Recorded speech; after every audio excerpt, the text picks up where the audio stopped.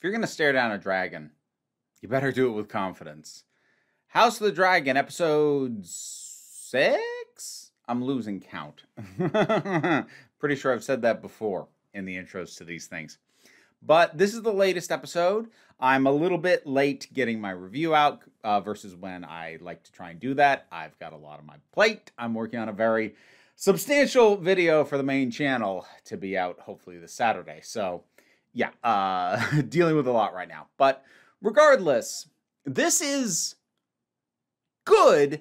But like the second episode, which I have admitted I might have been harsher on than I intended to be because I was just not in a great mood that that day when I both watched and shot it.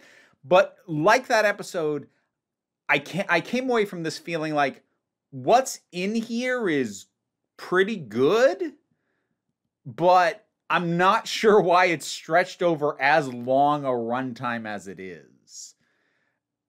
I feel like the major points, then takeaways that I took, at least that were new, that weren't strictly reiterative, which a lot of the stuff with, like, say, Daemon felt like his his story arc has felt like it has been just spinning wheels for a bit now. Like they they gotta they gotta freaking move that forward. Hopefully, now that the Elder Tully is dead, he'll Daemon will actually freaking do something. But storylines like that aside, which is just like why, um, the the major points that are like, okay, cool. Yeah, that's interesting. Yeah, that's important to know. That's a good moment. I feel like could have been done in less time. Uh, again, it's it's tricky because it's it's hard to talk about these things because you can come across as an unpleasable critic. Because I'll talk about other shows, um, stuff like The Acolyte, saying, "Boy, either they need more episodes or the episodes need to be longer because scenes need room to breathe. And then I watch something like this and I'm like, these scenes are dragging. You need to tighten this stuff up. And I know it can seem like, well, there's just no pleasing you, is there? Like, no, it just means that there's a middle ground. There's a sweet spot that can be tricky to hit. You can overshoot it, you can undershoot it. So that's it's just kind of where I get left. I would love to tighten this episode up a fair bit, if I'm being honest. That having been said, moving that issue aside, just understand it kind of hung over most of the episode. I I was checking the time repeatedly throughout the second half of this thing. Ah. Um, but there were definitely some key moments. Um, Alicent being asked by Aemond to leave, well, not asked, told being relieved of her duties on the small council was a really good moment, especially because uh, what was sold through Alicent as a character, at least what I got, was that she she didn't really want to be there. She didn't really have a desire to do this, but she is deeply afraid of what's going to happen if she is not a voice of reason in the room, and so she's been fighting to stay there, and it's it it's really interesting to watch somebody in a position that they don't want to be in, but they still feel it's important for them to be in, and them have to struggle with losing that or fight to keep it when, on a pure, like, what would you like to do with your life level, she probably would not be there. She doesn't want to, but she kind of needs to be. This is uh, also continuing on in a, I would say, better than Token, but only by so much acknowledgement of the common people um, I've mentioned before that a big thing that this whole series is missing is a sense of just the people of Westeros. Like we have all this stuff about the the royals, the movers, the shakers, and we get very flinting, uh, flinting, fleeting glimpses of quote unquote normal people. And we we've gotten a little bit over the last couple of episodes, although this kind of tips its hand that like we're only getting that insofar as they are being used as pawns by the royals between each other. Now, that's still an interesting tactic, the whole like send food, get these people to really resent the the people ruling the land where they are and start to think maybe the people that we have been told to hate aren't so bad like that tactically that's all really interesting but it did kind of um, give the game away that the only reason we're getting any glimpse of what's happening at the ground level in places like king's landing is only insofar as um, how it is impacting the Royals and the Movers and the Shakers. And like again, I understand that's who the show is about, But one, I, I've said it before. One of the things I really appreciated about early Game of Thrones, it fell off as the thing went on and also went downhill. Um, but one of the things I really liked about early Game of Thrones is it felt like a very complete world. It didn't feel like here's the royals and the rest of it, yeah, it's out there somewhere. You had a real tangible sense of place, of people, and you don't with this show. Now, like, one could argue that it's okay for it to largely bank on the foundation that Game of Thrones laid for stuff like that. I would say that there's actually a tangible benefit to having stuff like that that this is currently lacking. Um, but it, but it is still like an interesting plot point, and it is still interesting to see things get used in that way and to move forward in that fashion. So we have the whole idea of uh, of people uh, descended from the Targaryen bloodline, but a bit diluted, um, possibly being dragon riders. And I was pretty positive that first guy was it was not going to go well for him. Um, that said, I'd like the that actor uh, for who, Sir, whoever it was, Sir Crispy Dragon Meat. Um, he brought a lot of uh, personality, a lot of characterization to a very short amount of screen time. Like, good on him. He he did a lot with very little. He put a lot of personality in the time that he had.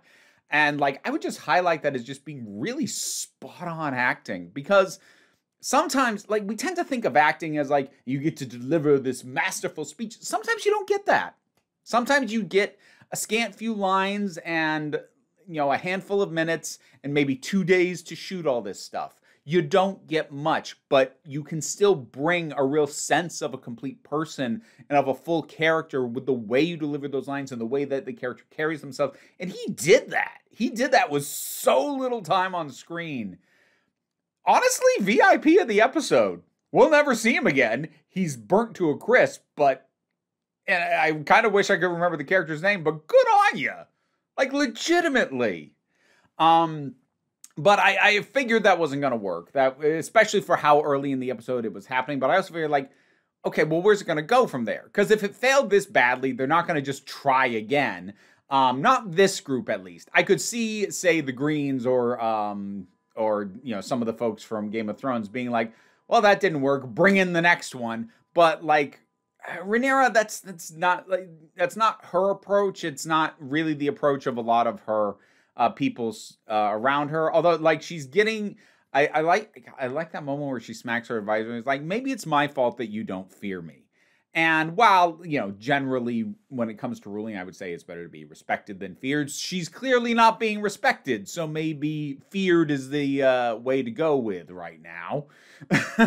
so uh, that that felt like a, a well earned moment. So that like stuff like that was good.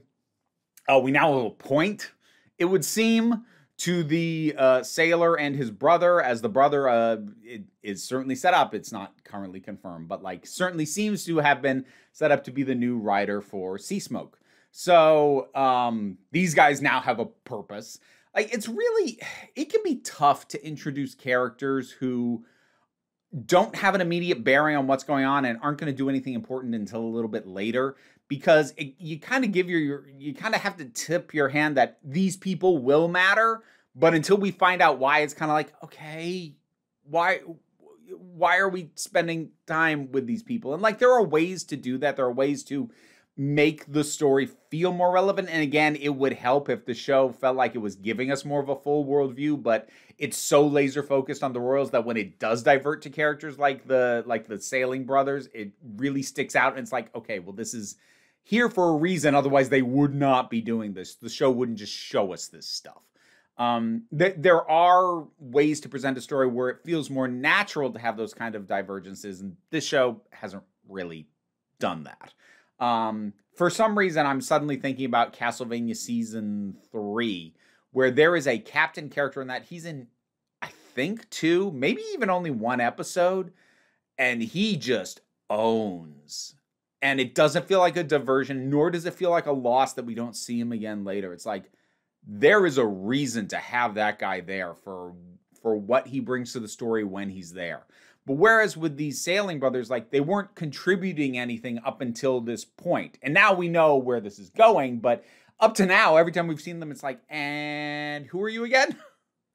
Why are you here? Because you're not you're not bringing a a cool scene in and of itself. It feels uh, a bit, you know, very structured around what the plot needs. I mean, which is good because especially in latter day Game of Thrones, a lot of stuff just felt like they didn't bother. But it it it's it's not always elegantly strung together narratively. Um so the kiss between Rhaenyra and her spy master. I her name starts with an M. I suck with these names. I'm sorry, I just do. But I I'm not sure they earned that. And I don't think there's an issue of it being two women. Like I would feel that if she was a guy. I'm not sure they earned that degree of connection. It's not uninteresting. Actually, I think it's potentially very interesting depending on where it goes. It also could be incredibly trite depending on where it goes. But I I, I didn't really feel like they'd earned that moment. I don't know.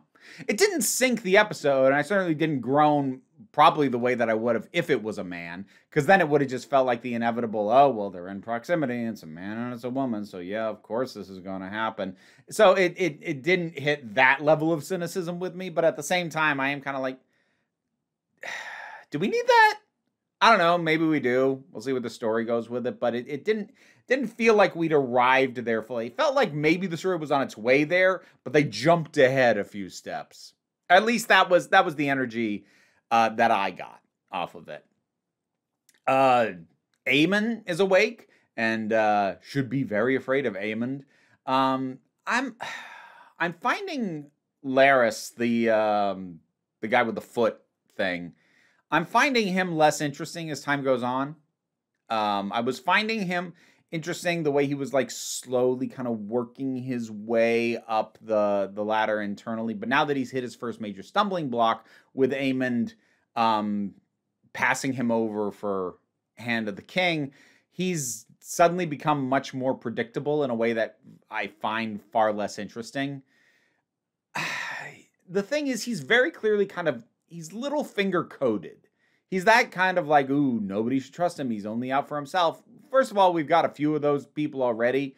Cole comes to mind, although, like, if he were to drop dead, that'd be absolutely fine with me. But not only does he feel kind of redundant in terms of dynamic, but the other thing with with Larys is, especially if we're gonna compare to Littlefinger, was I was given reason to be invested in Littlefinger as a character. Like season one did a lot of work to make me invest in this guy. A lot of it investing in being like, you are the absolute worst. But he was a guy who was fun to, to think that about. Larys is just kind of around and kind of a creep and feels just like a watered down version of something that was done better before in the previous show. Thankfully, there aren't a ton of characters who are like that, but I am getting that energy off of him, which is a shame because I found him to be one of the more intriguing characters up to this point, and maybe he will be again. But right now, I'm just kind of like, hey, I, I I feel like I know where we're going with you, and I feel like I've seen this. But oh, again, overall, this was pretty good. It did felt dragged out though, but it's solid enough. Still waiting for Abigail Thorne to show up. She has yet to appear. And I'm like, we only got what four episodes left this season. Come, Come on. the acolyte was not enough. Give me more. uh, reminder, I don't actually know Abigail. I've never met her, but I do uh, enjoy her work. And props to literally any trans actress who is able to get work on major shows. Seriously. Uh, regardless, House of the Dragon, episode six, I think. Whatever your thoughts are, drop something down in the comments. Let's talk about it. Patreon pays the bills, and enables me to do this as my living, even if you can't help me out that way. Like, share, subscribe. They all help me out. Don't worry too much about it, though. We take a relaxed attitude around here, so you can just come on back next time you need a break. Why'd I say it like that? And now to thank my highest supporting patrons Robin Moore, Zuma Fulla, Goddess Elida, Trista Ashley, Oliver B., Melissa Peterson, Tarak, The Thing That Goes Going to the Anime, Gene Foray, Movie Turtle, Ulrich Bogdan, Loki Eris, Linda Walters, Jen, Auntie Kate 808, Becky Sparks, Lax the Poodle, Tracy Scrabbit, Angry Casperol, Dave Hall, White Bearish, Rosalind Bennett, Pal Barabajagal, Lucy Wood, Dorm Mayhew, and Mary G. Thank you for your support and consider supporting me as well on Patreon.